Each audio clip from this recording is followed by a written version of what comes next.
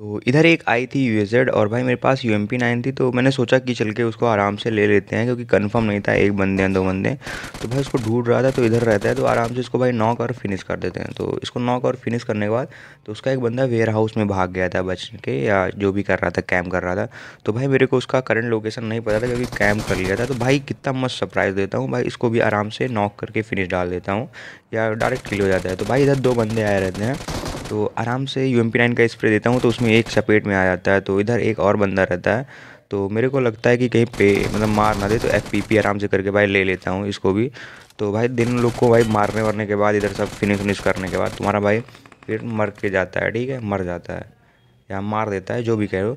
फिर भाई इधर आता है तो दो बंदे इधर रहते हैं, क्योंकि डुबो खेल रहे थे तो भाई इसको थोड़ा सस्ता स्प्रे दे के भाई नॉक कर देता हूँ, क्योंकि काफ़ी गंदा स्प्रे काफ़ी हक दिया था मेरा स्प्रे फिर भाई इसको एक स्प्रे देता हूँ, थोड़ा बहुत डैमेज पड़ता है।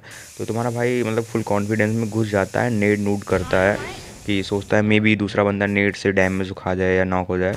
लेकिन उनका जो बंदा नॉक किए थे भाई, वो रिवाइव हो जाता है तो भाई फिर मैं उसको नॉक कर देता हूँ, ठीक है? फिनिश करने का ट्राई करता हूँ बट नहीं होता है।